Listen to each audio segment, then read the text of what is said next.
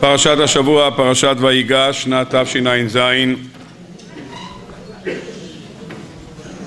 הפרשה היא בעצם המשכה של פרשת מקץ שקראנו בסייעתא דשמיא בשבת שעברה כאשר מסתיים, מסתיימת הסעודה שאליה הוזמנו האחים, סעודה תמוהה מאוד, ממתי מזמינים מרגלים לסעודה, אבל הם באים לבית של יוסף, מזמינים אותם, וישתו וישכרו עמו, ויצב את אשר על ביתו לאמור. מלא את אמתחות האנשים אוכל כאשר יאכלון שאת, ושים כסף איש בפי אמתחתו. ואת גביעי גביע הכסף תשים בפי המתחת הקטון ואת כסף סברו ויעש כדבר יוסף אשר דיבר. האחים יוצאים לדרכם ומצווה יוסף את אשר הביתו קום רדוף אחרי אנשים והשגתם ואמרת להם למה שילמתם רעה תחת טובה הלא זה אשר ישתה אדוני בו והוא נחש ינחש בו הרי אותם אשר עשיתם הוא אומר להם את הדברים האלה, ומיד אומרים כולם, למה ידבר אדוני כדברים האלה? חלילה לעבדיך מעשות כדבר הזה. יש להם קל וחומר, אין כסף אשר מצאנו בפי אמתחותינו, השיבונו אליך, ואיך נגנוב מבית אדונך כסף או זהב? יש להם קל וחומר, מה? אתה הרי יודע שהחזרנו כסף, אם היינו גנבים לא היינו מחזירים כסף, אבל כולנו יודעים שהקל וחומר הזה אין לו בכלל רגליים אין לו שום דבר, זה לא קל וחומר, שום דבר לא, כי כל טכניקה של גנבים שהוא רוצה לגנוב, הדבר הראשון הוא מחזיר עשר שקל כדי לדעת איפה הארנק, כדי לסחוב את האלף דולר, אבל זה הטכניקה. אז מה הראייה הגדולה, אין כסף, אז החזרתם מאה שקל וגנבתם את הגביע ששווה מיליונים. טוב, מיד אומר יהודה, אשר יימצא איתו מעבדיך ומת, וגם אנחנו נהיה לאדוני לעבדים. בסדר? אומר להם מנשה, יש לכם קל וחומר, בסדר גמור, אבל ישנם שניים שהקל וחומר לא תופס. למה? כי שניים לא החזירו בחזרה כסף. שמעון לא נסע בחזרה לארץ ישראל, וגם בנימין לא היה פה. אז בואו נעשה מה שנקרא בדיקה מדגמית.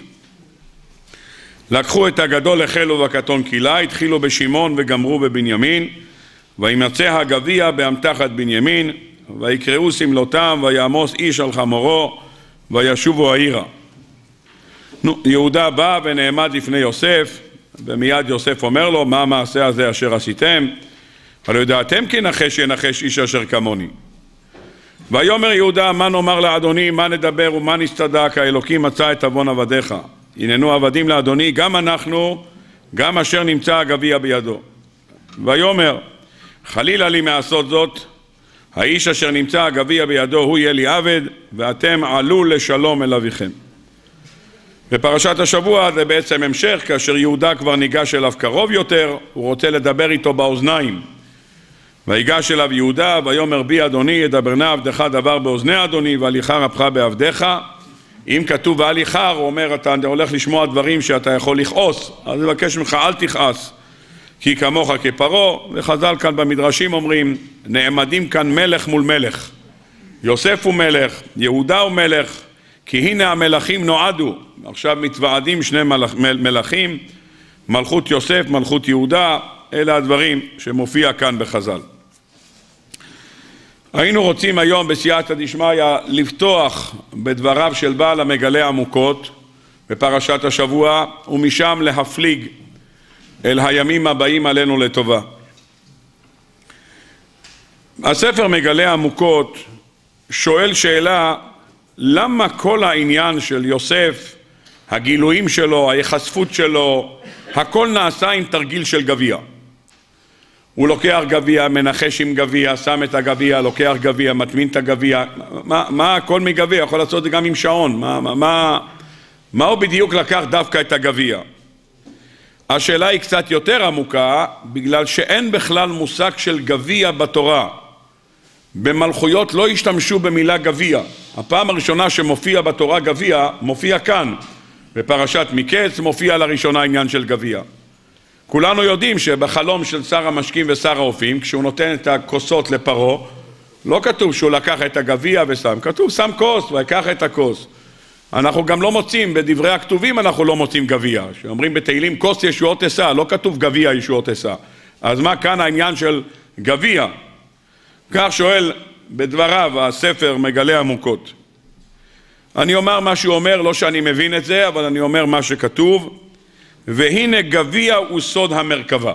טוב, גביע שייך למרכבה. מה גביע שייך למרכבה? אני אומר מה כתוב. אומר הספר מגלה עמוקות, המילה גביע כוללת בתוכה שלוש מספרים. שלושה אבות, שנים עשר שבטים ושבעים נפש. גביע כולל שלושה מספרים, ושלושת המספרים האלה זה הסוד שנמצא בגביע. וכנגדם ג' עדרי צאן רובצים עליה, פרשת ויצא, שלושה עדרי צאן, יעקב מגיע לחרן, הוא רואה שלושה עדרי צאן, ותמצא גם בפרשת בשלח, כשעם ישראל יוצא ממצרים ומגיע אלימה, הוא רואה שם 12 מעיינות מים ו-70 תמרים. אומר רש"י שם, 12 עינות מים ו-70 תמרים, אומר רש"י, מעיינות מים כנגד י"ב שבטים נזדמנו להם, ושבעים תמרים כנגד שבעים זקנים. אומר השפת שפתי חכמים במקום, מתחילת הבריאה ברא הקדוש ברוך הוא שם י"ב מעיינות ושבעים תמרים. זאת אומרת, מראשית הבריאה זה נעשה שמה, והמילה, מה שכתוב, נזדמן להם, הכוונה זה מששת ימי בראשית מוכן. הרמב"ן מביא על זה מחילתא, השפתי חכמים אומר את זה מעצמו, מתוקף קל וחומר שאין חדש תחת השמש.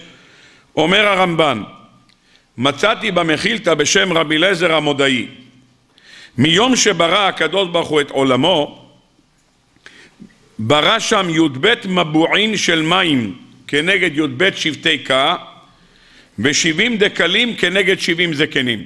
זאת אומרת, זה נעשה כבר בששת ימי בראשית, הקדוש ברוך הוא יכין שם את זה, והוא סוד המרכבה.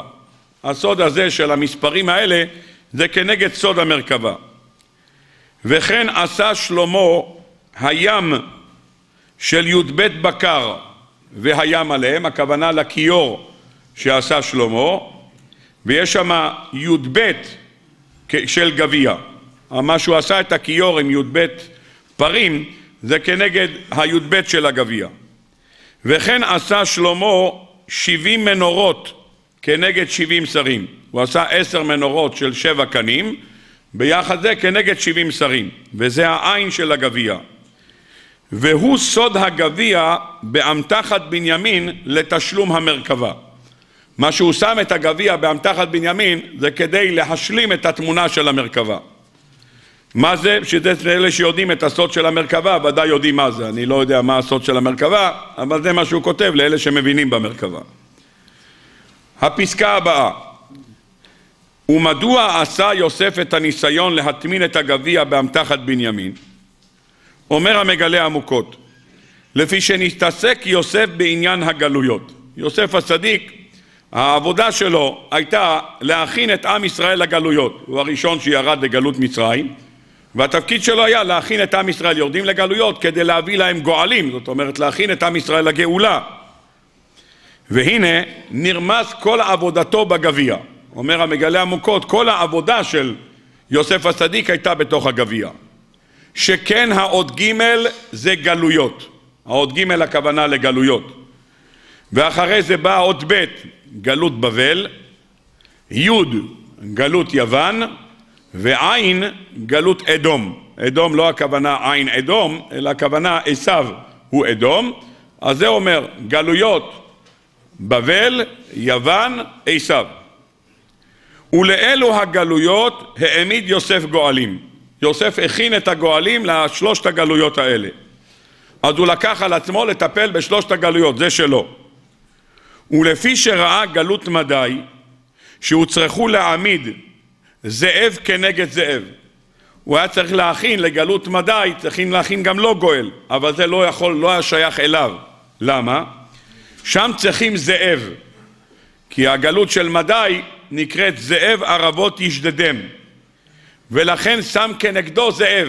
מי הזאב שנמצא כנגדו? בנימין. בנימין נקרא בשם בנימין זאב יטרף. ולכן אמר יוסף, אני את עבודתי גמרתי, אני הכנתי את הגואלים שאני יכול להכין, הכנתי. מי הם הגואלים שאני הכנתי? לשלושת הגלויות. גלויות, בבל, יוון, עשיו. נותר רק גלות אחת של פרס ומדי, זה לא שלי. ולכן ציווה על מנשה לקחת את הגביע שהוא סידר ולהטמינו באמתחת בנימין. הוא אומר, אני גמרתי, עכשיו בבקשה תן לו את התיק שלו. מה התיק שלו? התיק שלו זה גלות מדי, אז בבקשה תן לו לטפל בזה, אני לא מטפל בזה. ולכן הוא אומר, והמשך התיקון של הגביע היה בידי בנימין, ולכן ציווה להטמין באמתחת בנימין. ואומר להם, אשר יימצא הגביע בידו הוא יהיה לי עבד, ואתם עלו לשלום אל אביכם. אומר, אחרי שנמצא הגביע באמתחת בנימין, והעסקה הצליחה, בנימין קיבל את הגביע ותפסו אותו עם הגביע, אמר עכשיו עלו לשלום אל אביכם, אין לכם מה לדאוג מן הגלויות. למה אין לכם מה לדאוג מן הגלויות? שכן עלו לשלום, אתם תצאו בשלום מכל הגלויות, שנרמז במילה אביכם. מה ראשי תיבות של אביכם? אדום, בבל, יוון, ישמעאלים, כ' זה כסדיים, מ' זה מדי. נו, ברוך השם. אומר לנו המגלה עמוקות, עלו לשלום, כולכם תצאו לשלום מכל הגלויות, תגיעו לתיקון שלכם. עד כאן הדברים שכותב המגלה עמוקות בפתח הפרשה. אם בגלויות עסקינן, הייתי רוצה ברשותכם, אם בגלויות עסקינן, הייתי ברשותכם רוצה להיכנס אל הימים הבאים עלינו לטובה, החל מהערב ועד יום ראשון בערב. נכנסנו הערב לתאריך שנקרא ח' בטבת. ח' בטבת, בשבת קודש ט' בטבת וביום ראשון י' בטבת. אלה שלושה ימים שנקראים בלשון רבותינו בשם חושך. חושך. הפיוטים שאומרים האשכנזים בסליחות של עשרה בטבת, אומר הפייטן, ירח טבת מאוד לקיתי בו, ונשתנו עליי סדרי נתיבו. ירח טבת חטפנו מכה כמו שצריך. ונשתנו עליי סדרי נתיבו. כל הסדר, המסלול של העולם השתנה בזמן הזה. שררתי, פשעתי, יגלה לי טובו, האומר לים עד פה תבוא. מה קרה? מסביר הפייטן, אזכרה מצוק אשר קראני. בשלושה מכות בחודש הזה היכני. וכאן הוא מתחיל להסביר. דיאחני בשמונה בו שמאלית וימנית. הלא שלושתן קבעתי תענית. קרה לי בזמן הזה דבר נורא. קרה לי דברים בחודש הזה שהוצטרכו בגללם לקבוע שלושה דברים שקבעו עליהם תענית.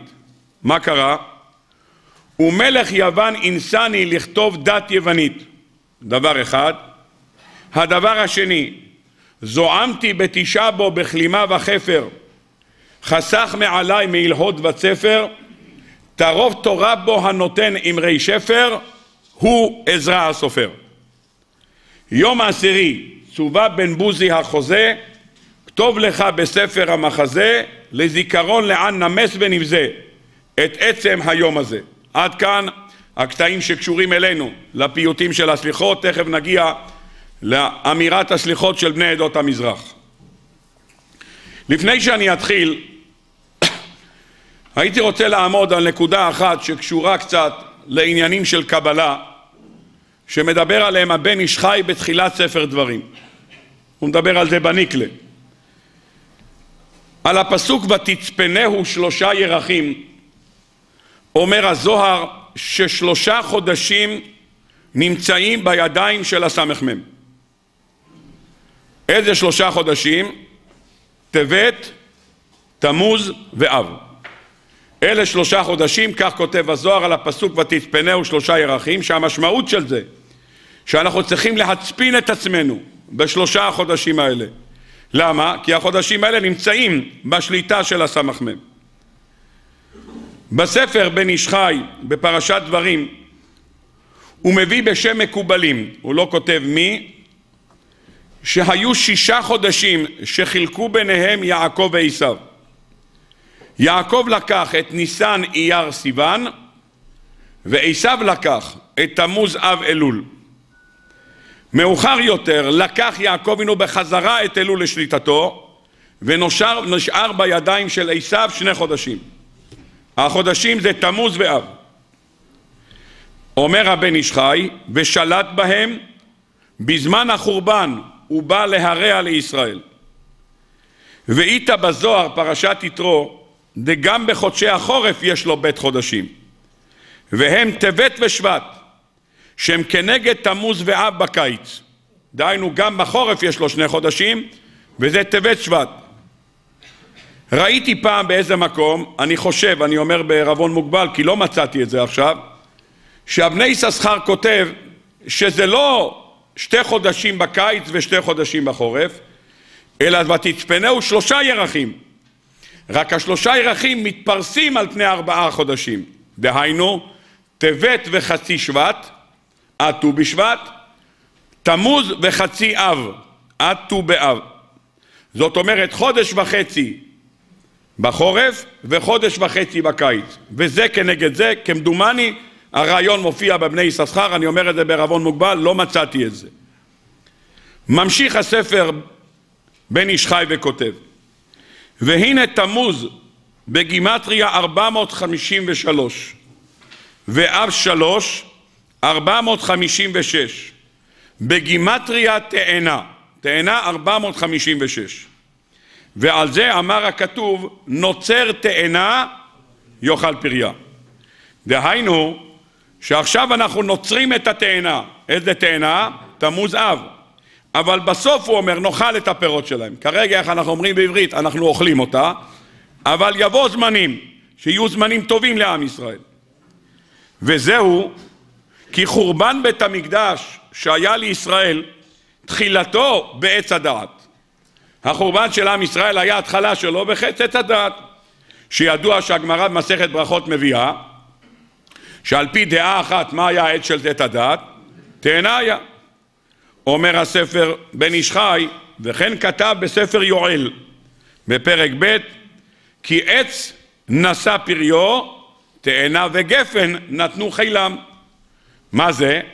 אומר הספר בן איש חי, הנה לעתיד לבוא כל עצי השדה, גם עצי סרק, עתידים ליתן פירות. כמו שנאמר בחז"ל בפרשת בחוקותיי, שעתיד הקדוש ברוך הוא להטעין גם עצי סרק בפירות. ולמה? כי תאנה וגפן, שזה העצים שחטאו בעץ הדעת, יש מחלוקת אם זה היה חיטה או גפן היה, נתנו חילם, דהיינו הגיעו לתיקונם. אומר הספר בן איש חי, אומר הימים האלה עוד יתוקנו בעתיד. זה כרגע בשליטה של עשיו, הצליח להחריב את בית המקדש, אבל זה יתוקן. הפייטן, שקראנו עכשיו, כותב לנו שבחודש טבת היכה אותנו בשלוש מכות. האחד, תורגמה התורה ליוונית, אחד. שתיים, הוא אומר, מת בו עזרא הסופר. שלוש, המלך בבל צר על ירושלים. אלה הדברים שאומר הפייטן. בשולחן ערוך סימן תק"פ יש שם סעיף שעוסק בתעניות של יחידים. יחידים צדיקי עולם מתענים בתאריכים האלה. בתאריכים האלה מופיע שני תאריכים מאלה שהזכרנו עכשיו. התאריך הראשון הוא ח' בטבת, מחר ח' בטבת. מה קרה בתאריך הזה? כותב, אני קורא את מרן הבית יוסף. בח' בטבת נכתבה התורה יוונית בימי תלמי המלך והיה חושך בעולם ג' שנים. בימי תלמי נכתבה התורה ביוונית, ירד חושך לעולם, חושך רוחני הכוונה, במשך שלושה ימים. במסכת סופרים, בפרק א', משנה ז', מעשה בחמישה זקנים שכתבו לתלמי המלך את התורה היוונית, והיה היום קשה לישראל, כיום שנעשה בו העגל. החומרה של תרגום התורה ליוונית כיום שנעשה בו העגל. טוב. בט' בטבת כותב הבית יוסף, מתענים ולא נודע מה אירע בו. מתענים, לא יודעים על מה. ראיתם פעם דבר כזה? אם היו אומרים אוכלים ולא יודעים על מה, הולך, בסדר? מתענים ולא יודעים על מה? מה, אתה מתענה, מה? אומר, לא יודע. אה? על מה? תגיד על מה מתענים? מתענים לא יודעים על מה. טוב, אלה דברי מרן הבית יוסף. באה משנה ברורה וכותב, ובסליחות שלנו איתה שמת בו עזרא הסופר. אני מעולם לא ראיתי לשון כזה במשנה ברורה בסליחות שלנו. מה זה סליחות שלנו? למה יש סליחות של אחרים? מה זה סליחות שלנו? זה לא נוסח בכלל של החופץ חיים. בקיצור, הלכתי לחפש אם יש עוד סליחות. הלך לחפש סליחות, חשבתי שיש סליחות גם אצל בני עדות המזרח.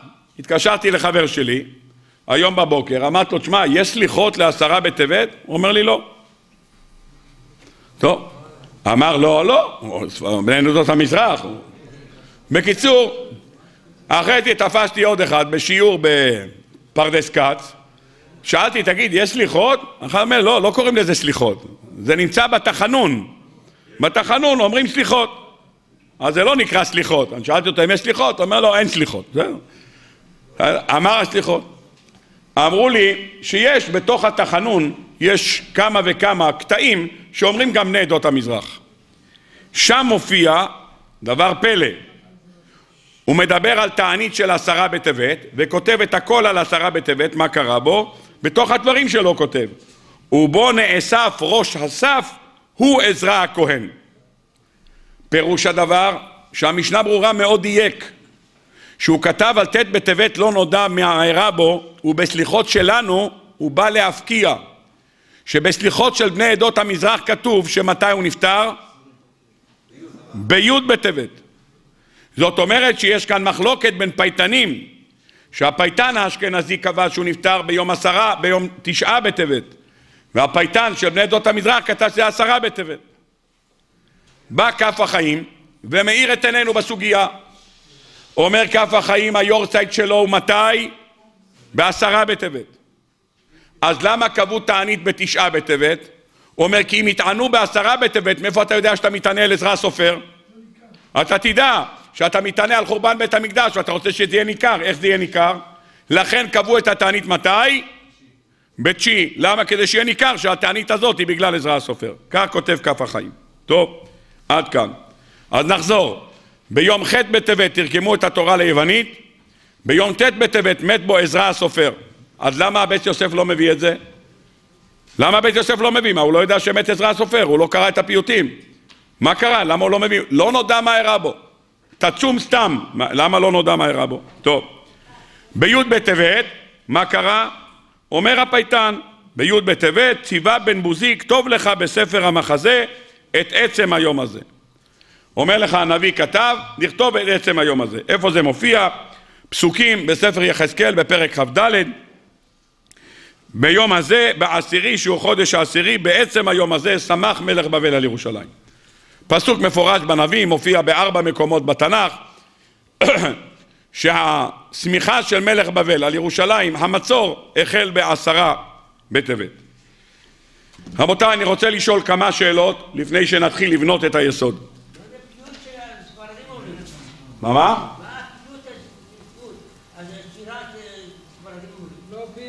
זה לא פיוט, בסליחות של עשרה בטבת.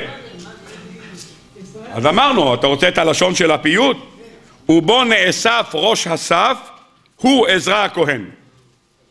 חפש, יש שם הפיוט, תודה רבה. ברוך אתה אדינו אלוהינו מלך אוהלום שהכל נהיו בדברי. רבותיי, אני רוצה לשאול שאלה.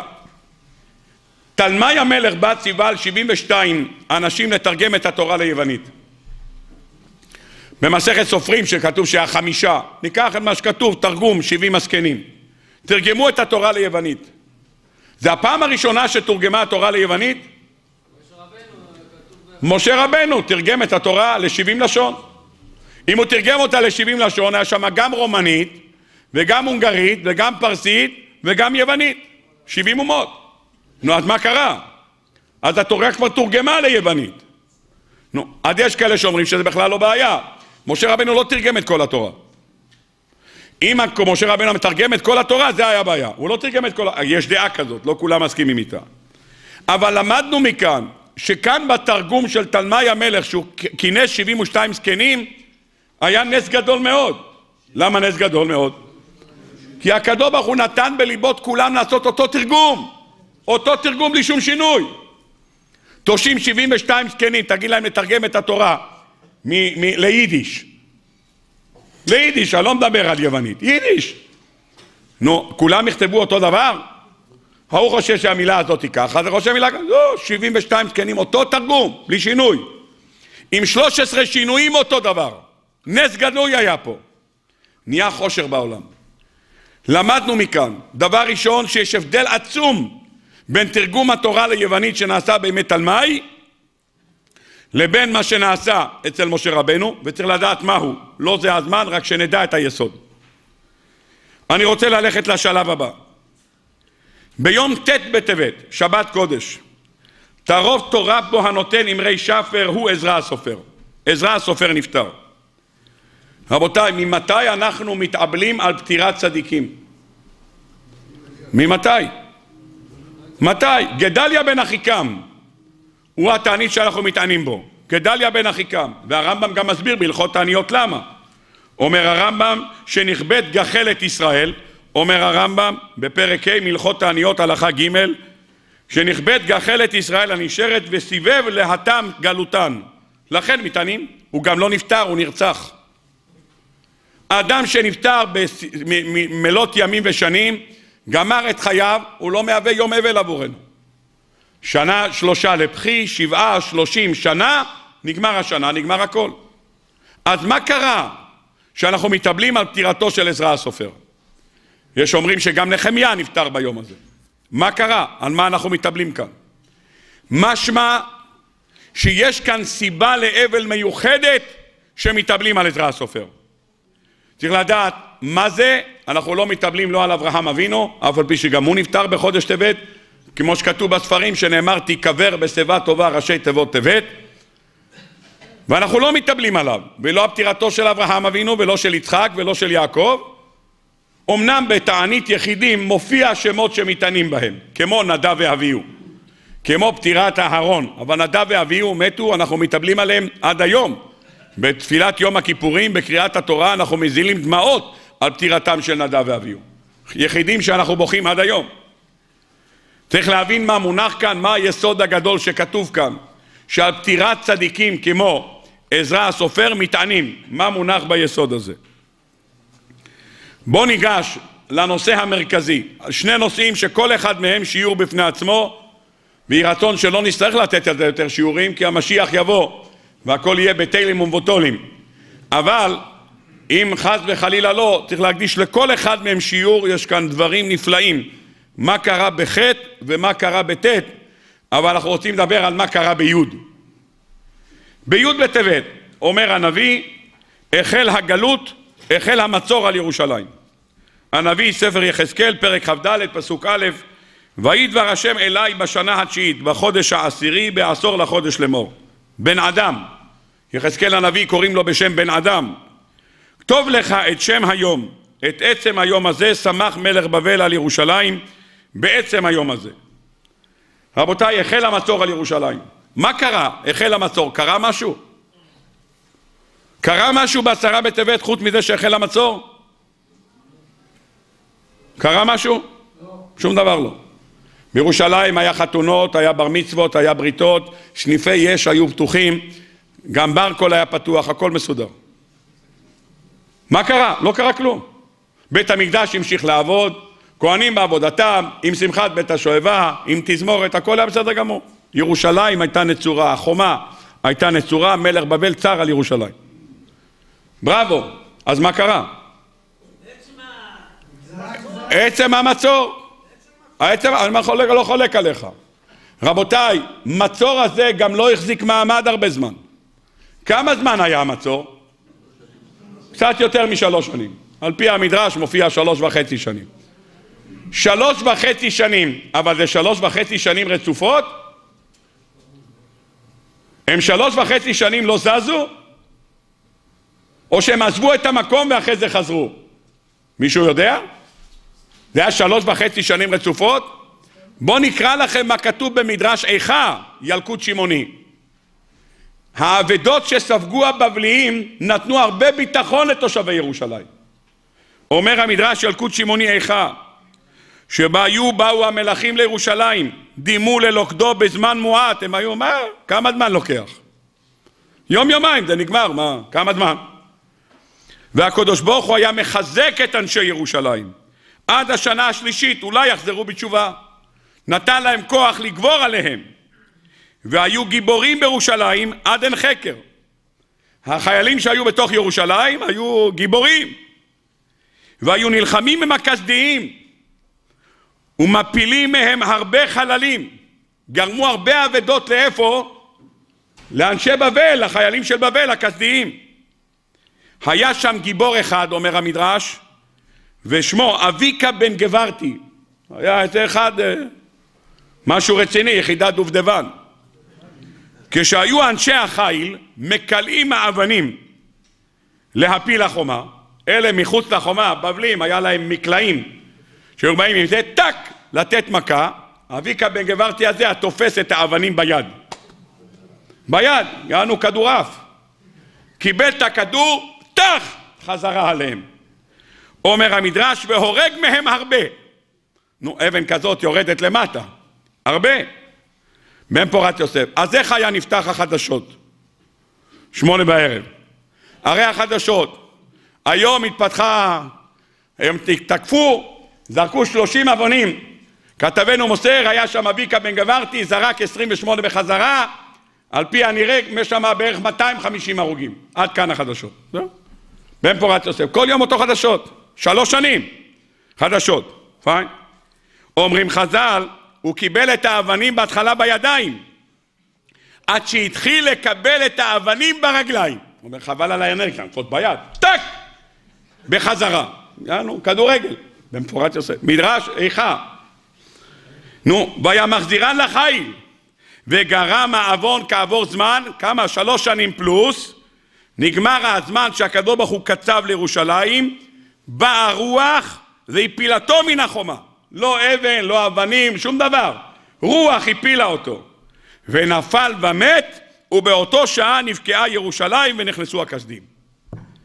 רבותיי, בירושלים היה ברוך השם ששון ושמחה. אביקה בן גברתי היה שם אחד כזה, עם בונקלח כאלה של רב בריח, הלך ברחוב, עלה על החומה, שבע בבוקר, אמר נו נו תדרקו, נו תדרקו! בן פורת יוסף, מה כל הזמן, באת לבית כנסת, מה אמרו לך? אה, סייעתא דשמיא, איך מכניסים להם? ברוך השם, אה, ברוך השם, שמחה גדולה. בעצם מה קורה? ירושלים נצורה, ששון ושמחה, כולם מכניסים בהם. רבותיי, אתם חושבים שהמצור הזה היה שלוש שנים רצוף? ודאי שלא. מי שמכיר קצת נביאים, בואו נקרא פסוק בנביא. אומר הנביא בספר ירמיהו בפרק ל"ז. שימו לב רבותיי, קצת דברי ימי ישראל. בספר הזה כתוב שבשעה שיהויקים הודח מן המלוכה, עלה אחריו למלוכה בירושלים מלאך צדקיה המלך. צדקיה המלך עצמו, אומרים חז"ל, היה צדיק, אבל הדור שלו היו רשעים. בשונה מהמלך שלפניו שהיה יהויקים, הוא היה רשע, אבל הדור שלו היה צדיק. יהויקים הזה תפס את הנביא ירמיהו ושם אותו בכלא, כלא אותו. הוא בא, אומר לו נבואות, זה, אומר עזוב אותי, אל תנבא, סגר אותו בכלא, נעל אותו. כשעלה צדקיהו, אומר כאן הנביא, הוציא את ירמיהו החוצה. וירמיהו בא ויוצא בתוך העם ולא נתנו אותו בתוך הכלוא, אותו לא שמו בבית סוהר. אומר כאן הנביא, אני מקריא לכם ספר ירמיהו פרק ל"ז וחיל פרעה יצא ממצרים וישמעו הכסדים הצרים על ירושלים את שמם ויעלו מעל ירושלים. שמעתם מה קרה? הגיע להם מידע שהמצרים באים להילחם כנגד בבל. זאת אומרת בבל מקיפה את כל ירושלים עם אלפי, מאות אלפי חיילים עומדים מסביב לירושלים מנסים לראות חוטפים זפטות הגיע להם מידע אומר חבר'ה עומדת לבוא תגבורת לעם ישראל המצרים סיסי שלח גדודים של חיילים לתקוף אתכם מאחורה בן פורת יוסף הם נכנסו ללחץ למה? הם מקיפים, יבואו להם המצרים מאחורה, יבואו המצרים מאחורה, מה יעשו? הם נלחמים, טח, יורידו את כולם. נתן נבוכדנצר הוראה, כולם הביתה, לכיוון מצרים. חד, כולם חזרה למצרים, הולכים לבוא, עזבו את ירושלים. עזבו את ירושלים, נפתחה החומה, הכניסו משאיות עם אוכל, ששון ושמחה אולי יודעים, אללה, ברוך השם, גם הכנסנו להם, גם ברחו כמו שפנים, ברוך השם, שמעו המצרים, כולם השאירו את הנעליים ברחובות וברחו, אה, ששת הימים, ברוך השם. שמחה וששון. בא ירמיהו הנביא ואומר להם, רבותיי, אל תשמחו יותר מדי. אמר להם, ויהי דבר השם אל ירמיהו הנביא לאמור, כה אמר השם אלוקי ישראל, כה תאמרו אל מלך יהודה, תגידו בבקשה לצדקיה המלך, השולח אתכם אליי לדורשני, הנה חיל פרעה היוצא לכם לעזרה, שב לארצו מצרים. אומר הנביא ירמיהו לצדקיה המלך, אל תתנפח, נגמרה המלחמה, הכנעת אותו, ברחו, חכה חכה, אומר, הם בדרך חזרה. מה קרה? אז בשביל זה צריך ללמוד מדרשי חז"ל. אז בואו נראה מדרש איכה, מדרש איכה בפרק ד' אומר המדרש איכה, נקרא אותו בפנים. פסוק במגילת איכה, עודנו תחילנה עינינו, אל עזרתנו הבל, בציפייתנו ציפינו, אל גוי לא יושיע. אני מקריא פה את דברי המדרש רבה, איכה, פרק ד', פסוק כ'. מה היו עושים עם ישראל? עם ישראל בארץ ישראל רוצים לעשות, איך קוראים לזה? הסכם הגנה. מה עשו? היו משלחים שמן למצרים. שמן, מצרים צריכים שמן. אין להם זיתים, בן פורת יוסף היה כאן הרבה זיתים, מכרו להם זיתים עם שמן, ברוך השם. למה? שאם יבואו שונאים, יהיה להם כדי לסיין. אם חס וחלילה מגיע אני יודע מי, אז מיד מתקשרים לסיסי, אומרים לה, הלו, בוא מהר מהר, בראבו. אז שלחו להם זיתים. וזהו שמה שכתוב בספר הושע, וברית עם אשור יכרותו, ושמן למצרים יובל. פעם אחת באו שונאים ושלחו אצל פרעה נכו. הגיעו השונאים, מי זה השונאים? בבל, הביאו הכסדים, הגיעו לירושלים. מיד שלח צדקיה המלך שליחים למצרים והודיע לפרעה נכו, הלו, יש זיתים, לא? יש ברית הגנה, לא? בבקשה תביא חיילים. הוא אומר אין בעיה, תודיע לו שאני יוצא לדרך.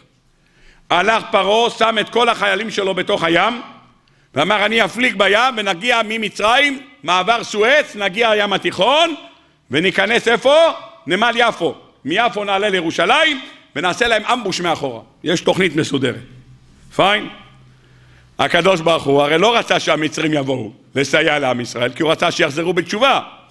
בינתיים שמעו מזה בבל, שהמצרים באים, מה הם עשו? ברחו כולם מירושלים וקדימה, לכיוון מצרים. הופ, ברחו, ירד המצור, אמרו ליהודים, ליהודים אוי סוירו ושמחו וסוסן ויקור, ברוך השם, הכל בסדר.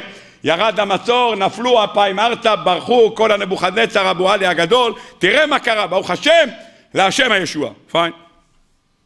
פרעה עולה על אוניות, שם את החיילים שלו על אוניות, ומתחילים לשוט לכיוון ארץ ישראל.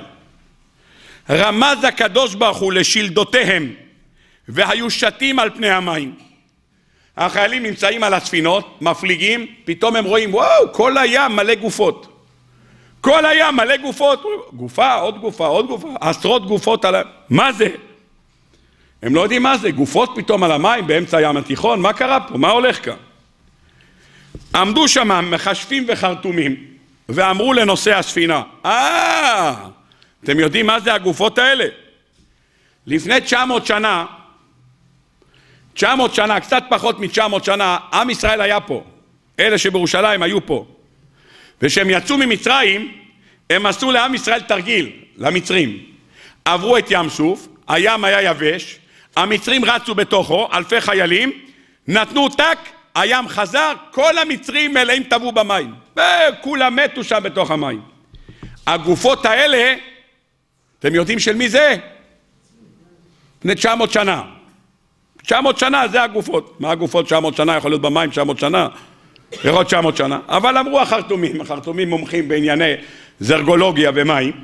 אמרו להם זה 900 שנה, אתם יודעים, הם מוצאים אבן, אומרים זה מתקופת הבית השני של חזקיהו בן מתתיהו.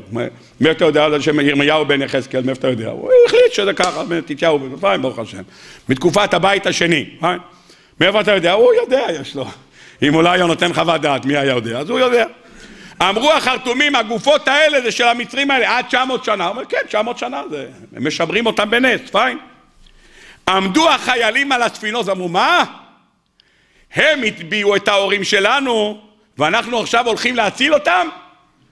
מיד נתנו הוראה, הלו, רוורס, הופ, חוזרים בחזרה. חזרו בחזרה למצרים, כולם ביחד. אומר המדרש, זה מה שהקדוש ברוך הוא אמר לנביא ירמיהו, הנה חיל פרעה יוצא לכם לעזרה, שב לארצו אל מצרים, אומר אל תחכה, הם לא יבואו לעזרה. סידרתי לך גופות על המים, הכל חוזר בחזרה, הם חזרו בחזרה למצרים. לכך נאמר, זה מה שמקונן הנביא ירמיהו במגילת איכה, בציפייתנו ציפינו, אל גוי לא יושיע. חיכינו, אמרנו יבוא מצרים להציל אותנו, בסוף לא קרה שום דבר. פירוש הדבר, שהיה שיעבוד, היה מחסום על ירושלים, ועם המחסום שהיה על ירושלים ביחד, עזבו האלה שעזבו את המקום, ברוך השם אחרי שעזבו את המקום, מה קרה? חזרו בחזרה למצרים, ירושלים השתחררה, ליהודים או סוירו, כולם מרגישים בסדר גמור. רבותיי, אתם יכולים להסביר לי אז מה קרה בעשרה בטבת?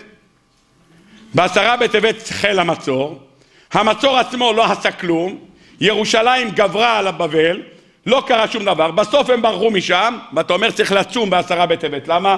כי בו החל המצור על ירושלים, מה קרה? לא קרה שום דבר, המצור לא הצליח, הם ניצחו אותם, הם ברחו, והמפח נפש, אז מה אתה צם? מה קרה? לא, אבל החל המצור, מה זה החל המצור? ממתי דבר שמתחיל מצור, מה קרה ביום הזה? לא קרה בו כלום, אז על מה אתה מתענה בעשרה בטבת? רבותיי, אנחנו רוצים לשאול עוד שאלה. רבותיי, אנחנו מתענים בשבעה עשר בתמוז. על מה אנחנו מתענים בשבעה עשר בתמוז? מה קרה? אה? נבקעה החומה, גמרא מסכת תענית, תחילת פרק רביעי, אומרת הגמרא, משנה במסכת תענית, דף כ"ו, חמישה דברים אירעו לאבותינו בשבעה עשר בתמוז, אחד מהם פקיעת החומה. נבקעה החומה, נכנסו בפנים. בראבו. מתי נבקעה החומה? באיזה בית? שני. מתי נבקעה החומה בבית ראשון? תשעה בחודש תמוז.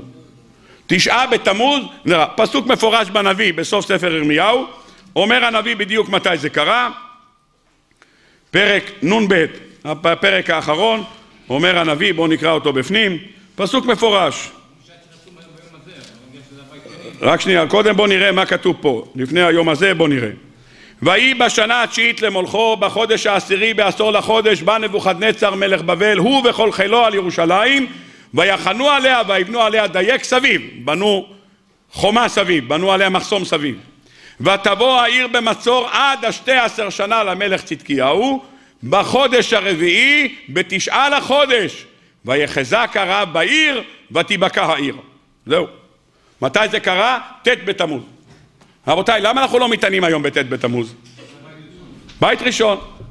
אז מה שקרה בבית ראשון, מה זה? פסה. מה שקרה בבית ראשון אין יותר. בט' בתמוז נכנסו לירושלים, בקעה החומה. למה אתה לא מתענה בט' בתמוז? אומרים לנו חז"ל, למה? כי בית שני חמיר לנטפי, אומרים חז"ל. עבורנו בית המקדש הראשון נחרב ונבנה מחדש. התנחמו מהבית הזה. אז אין יותר תשעה בתמוז.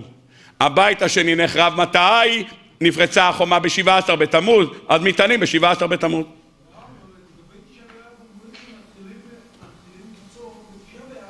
מה מה? כן. כן. כן. כן. שמה? כן, כי זה היה התחלה. נכון. מה שאתה אומר זה נכון, אבל חורבן הבית היה גם בבית ראשון וגם בבית שני, היה בתשעה באב, אז זה שניהם שמה. אבל אתה מדבר תשתת בתמוז, זה היה פעם אחת, בבית ראשון, בית ראשון זה פסה, נגמר. אז מה אתה מתענה בעשרה בטבת? אם אתה אומר שבית שני חמיר לנטפי, אם אתה אומר שהבית השני חמור יותר, אז מה אתה מתענה בעשרה בטבת? מתי החל המצור בבית שני, אתם יודעים מתי? מתי החל המצור בבית שני? בדיוק, מתי? אתם יודעים במדויק. מתי החל המצור בית שני? מה, מה? עשירי בטבת זה בית ראשון. בית שני, חמיר לנטפי, מתי זה קרה? לי"ז בתמוז נפרצה החומה, אני שואל מתי החל המצור? מצור מתי התחיל? אה, אין לזה מקור בכתובים, זאת אומרת לא תמצאו את זה לא במדרשים ולא בגמרות, זה מופיע ביוסיפון. ביוסיפון כתוב ביום כ"ב בחודש ניסן החל המצור בבית שני, כ"ב בניסן. אז למה לא מתענים בכ"ב בניסן? אם אתה אומר שבית שני חמר לנטפי, אז אין יותר עשרה בטבת. בעשרה בטבת היה בית ראשון, נגמר, פסה. אז מה אתה מתענה בעשרה בטבת? כ"ב בניסן, זה התאריך. אז אחד אומר לי, איך אפשר לצום בכ"ב? זה מימונה. מימונה? המרוקאים לא יאכלו מפלטה? חז"ל הקדושים ראו שלעתיד לבוא יהיה ממונה, אז הם כבר אמרו אי אפשר לקבוע צום במימונה. אז הם העבירו את זה לעשרה בטבת. נו, כל אחד מבין שאין בזה שום קשר, אבל טוב, יש מי שחושב שמונח בזה משהו. רבותיי, כ"ב בטבת איננו. ט' בטבת, כ"ב בניסן איננו. ט' בטבת איננו. מה נשאר לך? 17 בתמוז כי נפרצה החומה בבית שני, ויש לך תשעה באב שנשרף בית המקדש הראשון והשני. במקום להשאיר לנו את כ"ב בחודש ניסן, השאירו לנו את מה? את י' בחודש בטבת. שמה? למה? כן שייך לשטן. מה? לא, אני אומר לא, ט' בטבת, עשרה בטבת נשאר. למה מטענים? מה זה קשור? אדרבה, זה החודש של יעקב אבינו ניסן. אבל אתה רואה שהיה מצור, עם כל זה שהיה אנשי יעקב אבינו, גם החל המצור בזמן הזה. טוב, רבותיי, אני רוצה לשאול אתכם שאלה. כשנבנה בית המקדש השני, התענו בתעניות עשרה בטבת, ט' בתמוז ותשעה באב? כשבית המקדש לא היה בנוי, התענו בתעניות האלה? אה? עשרה בטבת היה תענית, עשרה בטבת היה תענית, ט' בתמוז היה תענית ותשעה באב היה תענית. מה קרה ברוך השם? נבנה הבית השני. התענו? לא התענו. מה היה בימים האלה? מה היה בימים האלה? חג היה. היה חג, קדוש ברוך הוא יהפוך לששון ולשמחה. את מה? את צום הרביעי, ואת צום החמישי, ואת צום השביעי, ואת צום העשירי. היה חג. חג היה. אם היה חג אז היום הזה איננו יותר, נמחק לגמרי, אין יותר את הימים האלה, זה הפך להיות חג. אז אין יותר צום של ט' בתמוז, ואין יותר צום של עשרה בטבת, ואין יותר צום של תשעה באב, הכל פסה, נגמר. מעכשיו מתחילים להתענות על מה? על בית שני. אז מה קרה בבית שני? בכ"ב בניסן היה המצור, בישיבה עשר בתמוז נכנסו בתוכו, נפרצה החומה, בתשעה באב שרפו. אז אלה הצומות שלנו. אתה כבר חגגת, עשרה בטבת הפך להיות כבר יום חג, זה נגמר. אם זה נגמר, אז מה אתה מתענה שוב פעם? נחרב הבית השני, רגע, רגע, אוי, שכחתי. יש עשרה בטבת. עשרה בטבת, על מה אתה מדבר? עשרה בטבת היה בבית ראשון, אז מה התעוררת עכשיו?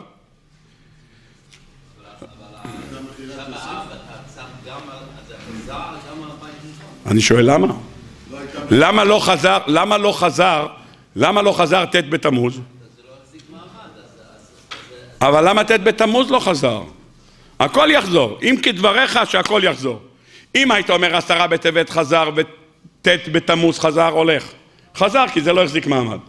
אבל אתה רואה שלא החזירו את ט' בתמוז. את מה החזירו? את עשרה בטבת החזירו. מה, מה קרה? מה עשרה בטבת? מה קרה בו? טוב, רבותיי, אנחנו רוצים להבין את הדברים בסייעתא דשמיא. דבר ראשון, נלך לתשובה של החתם סופר שכבר עסקנו בה בעבר. נחזור עליה פשוט לרענן את הזיכרון ומשם נלך לתשובה נוספת. החתם סופר בדרשותיו מעריך מאוד בענייני עשרה בטבת. בדרושים שלו, בביאוריו לפרשת השבוע, הוא מתחיל את הרעיון שלו עם דברי חז"ל הקדושים שמופיע בכמה וכמה מדרשים ותכף נראה אותם הוא מביא בדבריו את דברי האבודרהם שמביא מרן הבית יוסף להלכה.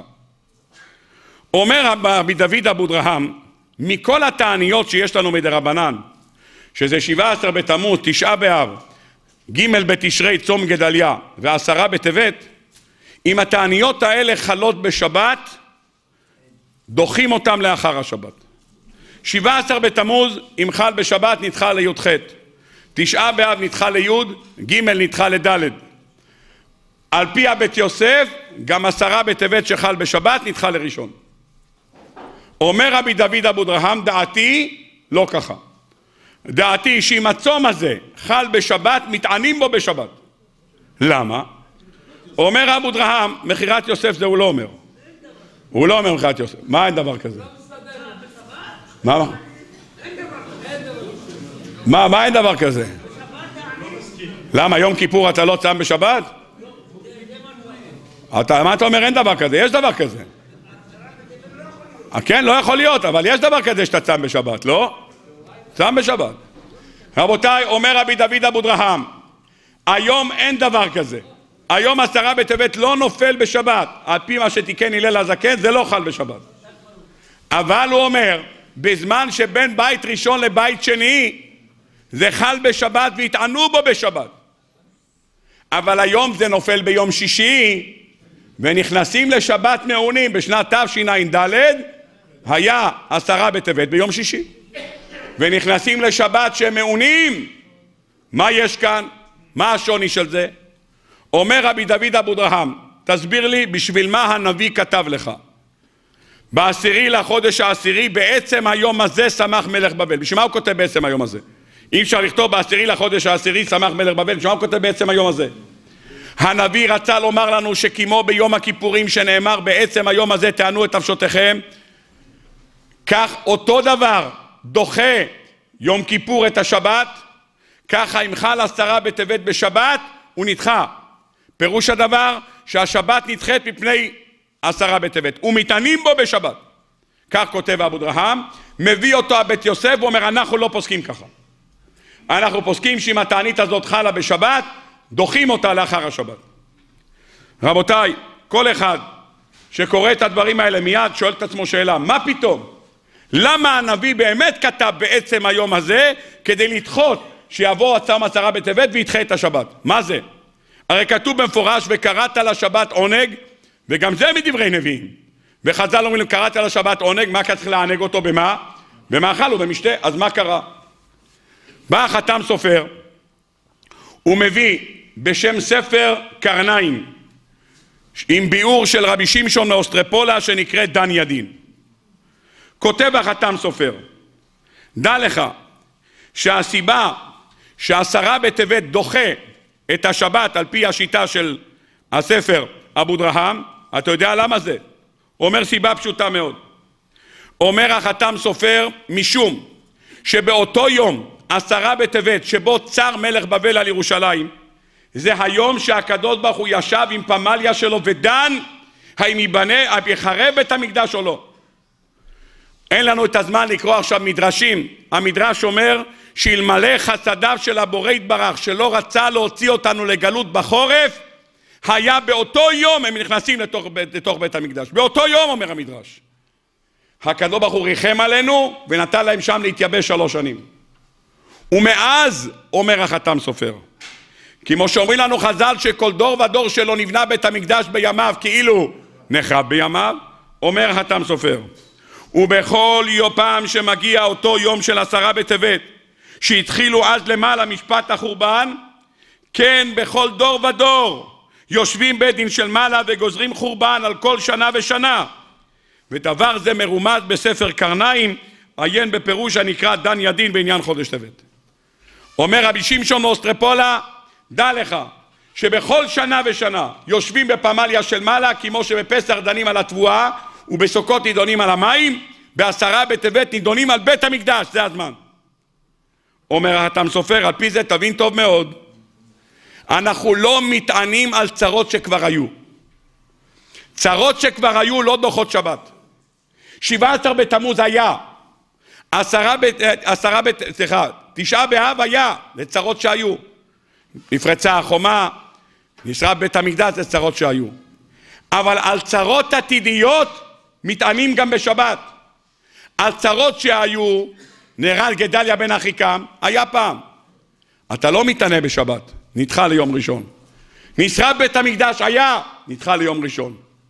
אבל ישנם תעניות שכן דוחות שבת. מה קורה לאדם שחולם חלום בלהות?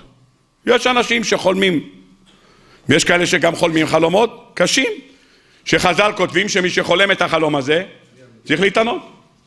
אדם אכל בן פורת יוסף הרבה חריימה. בא לו חלום בלהות בליל שבת. חלום בלהות כזה שצריכים יצום בו, צריכים להתענות. מה הוא עושה? מתענה בשבת או לא? ודאי שמתענה. מתענה בשבת, הכתוב וקראת לשבת עונג, אומרים חז"ל זה העונג שלו.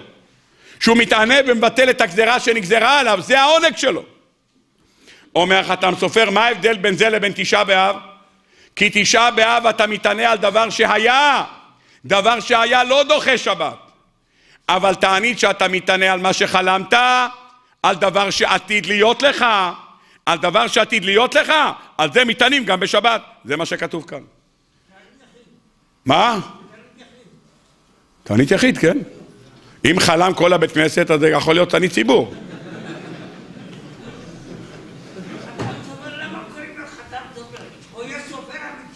לא, לא, המשפחה שלו הייתה סופר. הוא כתב ספרים, אבל המשפחה שלו הייתה סופר עוד לפני שהוא כתב ספרים. קראו לו משה סופר. כן, כן, כן. מאיפה את זה? טוב, אומר החתם סופר שלכן תעניות על מה שעתיד להיות, אז זה מתענים גם בשבת. אומר החתם סופר לכן מתענים גם בעשרה בטבת אם חל בשבת. מה הסיבה? כי בכל שנה ושנה הקדוש ברוך הוא יושב ודן מה יהיה בשנה הבאה ייבנה בית המקדש או לא אנחנו רוצים לבטל את הגזרה שעתידה להיות בשנה הבאה כי ביום ראשון הקדוש ברוך הוא יושב עם פמליה שלו ודן ייבנה בית המקדש בתשע"ז או לא לכן התענית הזאת אומר אבו דרם דוחה שבת למה היא דוחה שבת? כי על דבר שעתיד להיות זה כמו חלום אז עונג הוא לו טוב ישנם תשובות עוד נוספות של המנחת חינוך, ישנם תשובות של רב חיים מבריסק, ישנם עוד כמה וכמה תשובות, אנחנו רוצים ללכת הלאה. מצאתי השנה בסייעתא דשמיא חתם סופר נוסף. חתם נוסף נוסף בדרושים שלו, כותב החתם סופר. דע לך, דרך אגב החתם סופר בכלל הוא הספר היחיד שמתעסק עם עשרה בטבת באופן מיוחד, עם כל שלושת התעניות האלה. כמעט ולא תמצא בכתובים מי שמתעסק עם זה. אז החתם סופר מביא רעיונות נשגבים, אה, דברים נפלאים ביותר, מה זה הצום הזה של עשרה בטבת. באחד הדברים שלו, בדרוש ד' דרשות, דרוש ד', כותב הספר חתם סופר. והנה איתה בגמרא במסכת שבת.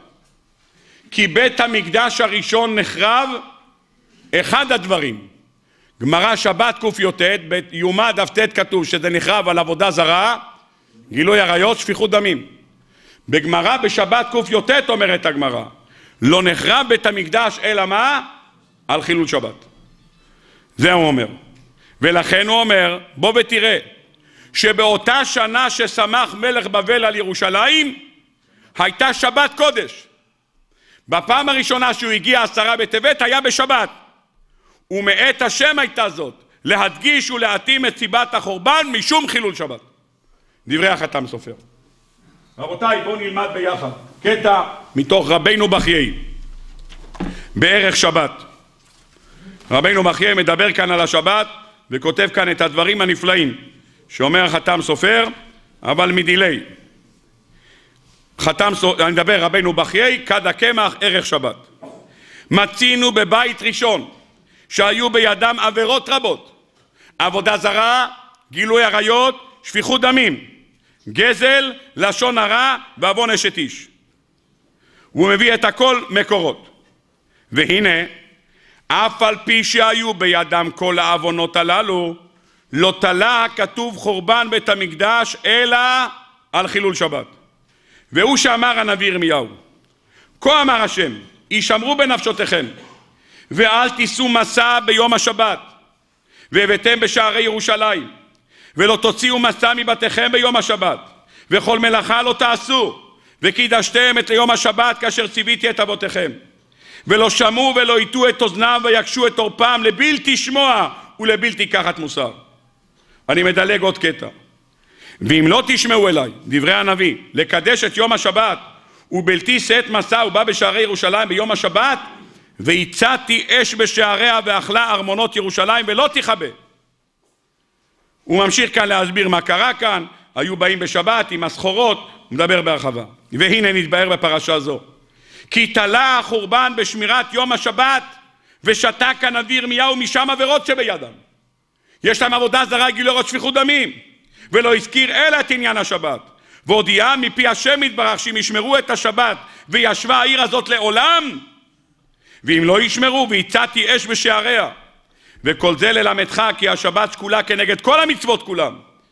והוא עדות לחידושו של עולם ולהפלגת עילוי מצוות השבת דרשו חז"ל. כל המשמר שבת כהלכתה אפילו שעובד עבודה זרה כדור אנוש מוחלים לו שנאמר גמרא במסכת שבת אומרת הגמרא שבת קי"ח אשרי אנוש יעשה זאת ובן אדם יחזיק בה שומר שבת מחללו אל תקרי מחללו אלא מחולו ומצוות השבת ראויה כותב רבינו בחיי שיתלה קיום בית המקדש על שמירתה וחורבן המקדש על חילולה. שווה הוא אומר להחזיק את בית המקדש קיים בגלל שבת ושווה להחריב אותה על חילול שבת. למה? לפי שהמקדש אמצע העולם. האחר, אמצע העולם זה ירושלים ואמצע ירושלים זה בית המקדש. וכן השבת היא אמצע. למה השבת היא אמצע? כי הוא שביעי והוא אמצעי ליום השבוע והוא רביעי. שהרי יום רביעי בשבת נקרא ערב שבת. אומרים לכו נרננה. ואם כן ד' ה' ו' מלפני השבת. א' ב' ג' מאחריו. איפה מצאנו? למי שזוכר דיברנו על זה כבר האדם אמר תן גט זה לאשתי לפני השבת ממתי יכול לתת את הגט? מיום רביעי אמר תן זה גט לאשתי לאחר השבת עד מתי יכול לתת? עד שלישי הבדלה עד מתי עושים? עד שלישי אם ככה יוצא ששלושה ימים לפני שבת התחלת השבת וההשפעה שלה עד אחרי ולכן אומר אמר אבני נזר הבאנו את זה שכשם שההכנה לקראת השבת היא שלושה ימים, אז ההשפעה של שבת ממשיכה לשלושה ימים. ואם ככה הרי השבת אמצעי, ואותו דבר השבת יש לך שלוש לפני זה ושלוש אחרי זה. והנה תמצא הנר האמצעי של המנורה היא כלפי השכינה. ולפי שהשבת נקודה אמצעית, על כן יקראנו הכתוב קודש. ולכן הוא אומר, ולא גלו ישראל מארץ הקדושה, שנקודה אמצעית של העולם, עד שחיללו את השבת. ורואים לכך, לרודים לכך. כי מידותיו של הקדוש ברוך הוא מידה כנגד מידה. אם הם מחללים את השבת כי יעשו מן הנקודה האמצעית אחת מן הקצוות, לכן הוא אומר, גלו מן הארץ שנקודה אמצעית והיא טבורו של עולם לשאר הקצוות. כמו שנאמר, אם יהיה נדיחך בקצה השמיים. אם כן ראוי שיהיה קיום בית המקדש תלוי בשמירת השבת, ועוד מפני שהשבת נקראת מנוחה, דכתיב וינח ביום השביעי, וארץ ישראל נקראת מנוחה, שנאמר כי לא באתם עד עתה אל המנוחה ואל הנחלה. יבטיח הכתוב כי אם ישראל משמרים מנוחת השבת, ישמור הקדוש ברוך הוא את הארץ, ואם לא, ישמרו את השבת. הרי גזר ומחריב את הארץ, הלמדת שהגלות תלוי בעונש חילול שבת, והגאולה תלויה בשמירת השבת. עד כאן דברי הספר רבינו בכיה בקצרה, יש לו עוד כמה קטעים, זה מה שהבאנו אלינו. בא האדמו"ר רבי יחזקאל מאוסטרופצה ואומר דבר נפלא. תמיד תמהתי מה פירוש הדבר? מה בכלל המושג הזה שכותב הנביא? בעשירי לחודש העשירי בעצם היום הזה שמח מלך בבל על ירושלים. מה זה שמח מלך בבל על ירושלים? תגיד בעצם היום הזה צר מלך בבל, הוא סגר אותנו, מה זה שמח? שמח פירוש דבר נשען, הוא נשען, הוא לא נשען, הוא סגר אותה, הקים עליה דייק, הקים מצור, אז מה אתה אומר שמח? אמר האדמו"ר רבי יחזקאל מאוסטרופצה בספרו קודשי ישראל מהדורה תניאנה עמוד רי"ל ומהו הביאור שמח היה לו לומר צר. והנה כתב הבית יוסף בשם אבו דרהם ואם היה חל עשרה בטבת בשבת לא היו יכולים לדחותו ליום אחר. כי נאמר בו בעצם היום הזה כמו יום הכיפורים. ועוד שאם חל בערב שבת מטענים ומשלמים ונכנסים לשבת מעונים. והטעם משום שהיום שצר מלך בבל על ירושלים חל בשבת ומשום מה כי מותר להיכנס לשבת כשהוא מעונה ואומר אבו דרהם מטענים בשבת למה מטענים בשבת? כי כל החורבן היה אומר הנביא ירמיהו כי חיללו את השבת אומר אבו דרהם חיללו את השבת אז מה התקנה? התקנה אדרבה תצום בשבת כנס לשבת שאתה מעונה למה? כי חיללו את השבת ועל זה נחרב הבית והנה איתה בסנהדרין שנבוכדנצר היה ירא לצור על ירושלים. נבוכדנצר פחד לצור על ירושלים. למה? אמר שמא יקרה לו מה שקרה לסנחריב. הוא פחד, אומר מה? אתה יודע מה קרה לסנחריב? הוא בא לירושלים ומה קרה לו? מה קרה לו? הלכו לישון. למה הלכו לישון? מה מה?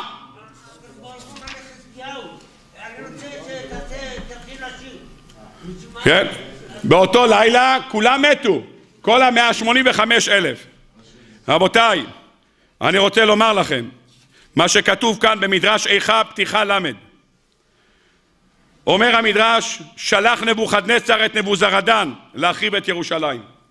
והיה שם שלוש שנים ומחצה בכל יום מקיף את ירושלים ולא היה יכול לכובשה. הוא ביקש לחזור, נתן הקדוש ברוך הוא ליבו, התחיל ממדד בחומה. והייתה שוקעת בכל יום טפחיים ומחצה עד ששקע כולה כיוון ששקע כולה נכנסו שונאים לירושלים.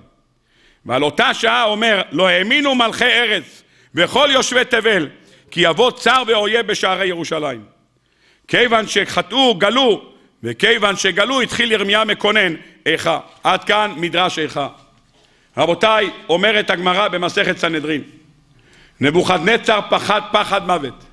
הוא יבוא לירושלים, פשוט יעשו לו מה שסל בסנחריב. אומר הספר הזה, קודשי ישראל, אומר דע לך, שהוא הלך ושאל בתרפים, ומופיע בגמרא במסכת סנהדרין בהרחבה גדולה, מה שהוא עשה.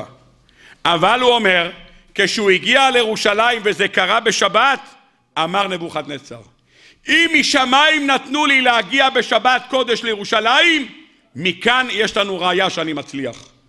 הוא אומר הספר הזה, קודשי ישראל, לפיכך שמח נבוכדנצר שהניצחון יעלה בידו. על מה הוא נסמך? אם הקדוש ברוך הוא הביא אותי בשבת, סימן שהקדוש ברוך הוא תובע את עלבונה של שבת ויעלה בידי להחריב את ירושלים. אם ככה למדנו, מדוע התענית הזאת דוחה שבת? אומר לנו החתם סופר. אתה יודע למה? סיבה פשוטה. כי התענית הזאת אומר בית שני לא נחרב על חילול שבת. ולכן אם שבעה עשר בתמוז חל בשבת, לא מתענים בשבת. תשעה באב בית שני, לא בגלל חילול שבת. הבית הראשון נחרב על חילול שבת. לכן שמו לנו את עשרה בטבת, ואומר אבו דרהם, שאם התענית הזאת חלה בשבת, מתענים בה? למה? כדי לכפר על מה שהיה, כל העניין של חורבן הבית היה בגלל בית המקדש, בגלל השבת. אם אלה הדברים, רבותיי, ביום ראשון הבא עלינו לטובה, יש עוד סיכוי בעזרת השם שיבוא משיח מחר. אמנם כתוב שהוא לא בא בערב שבת, אבל זה בעיטה, באחישנה, הוא יכול לבוא גם בשבת. אבל אם חס וחלילה לא, אנחנו נכנסים במוצאי שבת, לפנות בוקר, יום ראשון בשעה חמש, לאחר עלות השחר מתחיל הצום, צום לא ארוך, 12 וחצי שעות בסך הכל. אבל זה יום שמגלה לנו החתם סופר בשם ספר קרניים, שהקדוש ברוך הוא יושב עם פמליה שלו ודן האם השנה ייבנה בית המקדש או לא, זה מה שנידון. שנבין את האחריות שמוטלת על כתפינו, שכל אחד ואחד ייקח לו איזה שעה, שעתיים, להתיר בתפילה לפני שוכן מרומים, שיקוים בנו בקרוב ממש ותחזינה עינינו בשובך לציון ברחמים גדולים במהרה בימינו אמן ואמן.